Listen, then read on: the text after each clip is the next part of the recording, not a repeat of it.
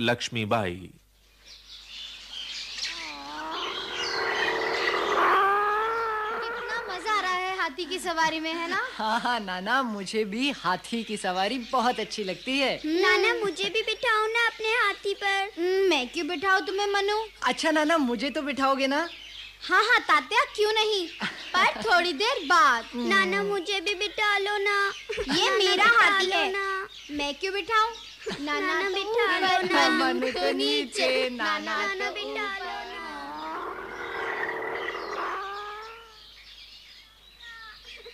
काका काका। अरे अरे क्या हुआ मनु बेटी? देखिए नाना हाथी पर सवार होकर घूमने जा रहे हैं। मैं भी हाथी की सवारी करूँगी। उन्हें रोकिए ना। अरे अरे बेटी वो देख हाथी तो काफ़ी आगे निकल गया है। आप पुकारिए तो हाथी को अभी वापस बुलाओ अभी बुलाओ अभी बुलाओ। अब बेटी हाथी की सवारी तो राजा लोग करते हैं। तू ठहरी गरीब ब्राह्मण की बेटी। भला तेरे भाग्य में हाथी की सवारी कहाँ? अच्छा ये बात है तो लगी शर्त। मैं आपको एक नहीं दस दस हज़ार हाथियों की सवारी करके दिखाऊँगी। हाँ। तेरे मुँह में घी शक्कर बेटी।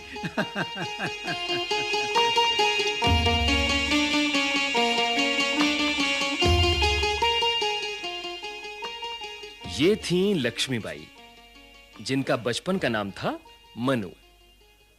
मनु का जन्म 19 नवंबर 1835 में काशी के एक ब्राह्मण परिवार में हुआ था। मनु जब छोटी थीं तो इनकी माता भागीरथी बाई का देहांत हो गया। पिता मोरोपंत ने इनका लालन पालन किया। मनु ने रण विद्या धनुष चलाना, बंदूक चलाना, अश्वारोहण, कुश्ती, शिकार खेलना, नकली युद्ध करना तथा व्यूह की रचना करना भली प्रकार सीख लिया।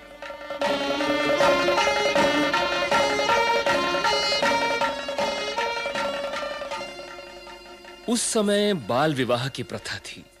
इसलिए मनु जब छोटी उम्र की ही थी तो उनका विवाह गंगाधर राव के साथ हो गया। विवाह के पश्चात मनु का नाम लक्ष्मीबाई रखा गया।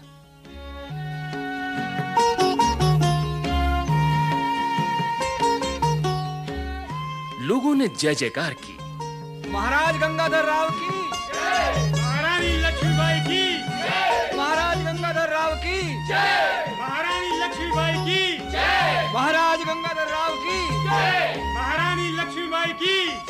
महाराज गंगाधर राव की।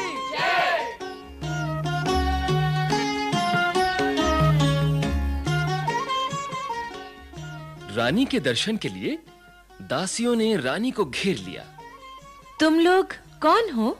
सरकार हम लोग तो आपकी दासियाँ हैं। जी सरकार। दासियाँ नहीं तुम लोग तो मेरी सखियाँ हो। अपने अपने नाम तो बताओ।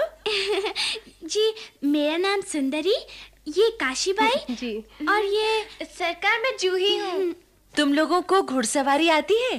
सुंदरी को तो घुड़सवारी बहुत अच्छी आती है। अ, हम लोगों को भी आती है। थोड़ी थोड़ी आती है।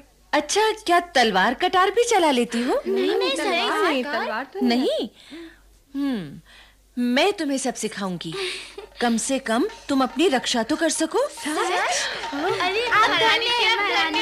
महारानी की बचपन की सीखी रण विद्या रानी के बहुत काम आई। रानी ने वीरांगनाओं की एक फौज तैयार कर ली और रानी राज्य के सभी कामों में रुचि लेने लगी।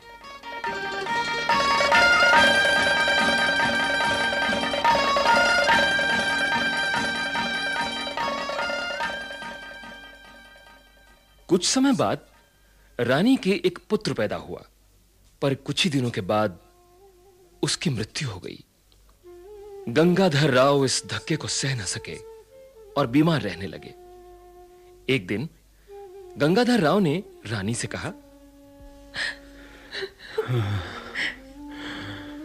लक्ष्मी अब मैं अधिक दिनों तक जीवित नहीं रह पाऊँगा। ऐसा ना कहे महाराज आप जल्दी ठीक हो जाएँगे। तुम कुछ भी कहो लेकिन मेरी बात सत्य होगी। मैं मैं बिना पुत्र के नहीं मरना चाहता। मैं मैं किसी बालक को खोद लेना चाहता हूँ। राजा, मुझे इसमें कोई आपत्ति नहीं है। गोद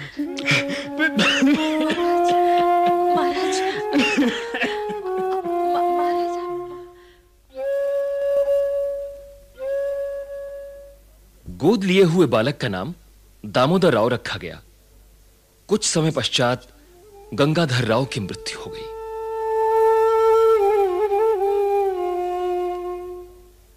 अंग्रेज़ों ने बालक दामोदर राव को गद्दी पर बैठने की अनुमति नहीं दी। अंग्रेज़ों ने झांसी को अपने राज्य में मिला लिया।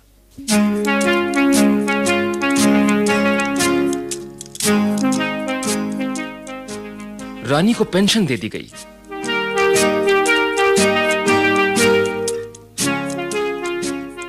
इससे रानी खुश नहीं हुई।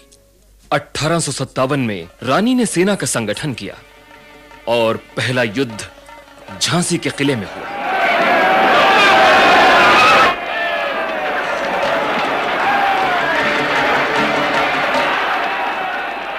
रानी बहुत बहादुरी से लड़ी। उन्होंने जियाजी राव सिंधिया और जनरल स्मिथ को हराया। युद्ध के दौरान रानी ने अपने पुत्र दामोदर राव को पीठ से बाँध लिया था। अचानक रानी को गोली लगी और रानी कोई परवाह किए बिना लड़ती रही और सैनिकों का हौसला बढ़ाती रही। आज़ादी की लड़ाई है। हम इसमें शहीद हो जाएँगे, लेकिन पीछे नहीं हटेंगे। हमारे भीतर देशभक्ति की आग जल रही है। इससे हम दुश्मनों को झुलसा देंगे।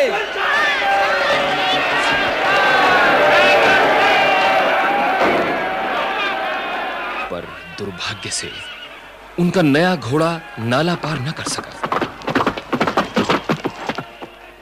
रानी जान गई कि अब युद्ध में जीतना कठिन है। गिरते गिरते रानी ने अपने सहयोगी से कहा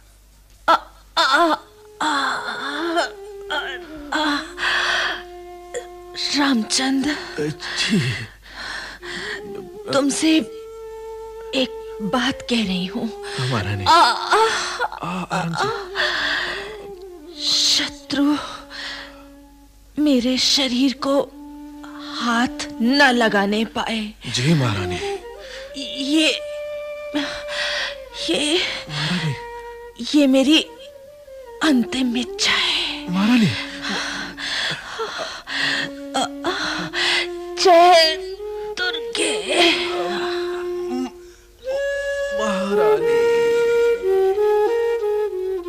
रामचंद रानी के मृत शरीर को गंगादास की कुटिया में ले गए। गंगादास ने मृत रानी के मुँह में गंगा जल डाला। अपनी कुटिया की घास फूस डालकर रानी की चिता को आग लगा दी और इस तरह रानी वीर गति को प्राप्त हुई।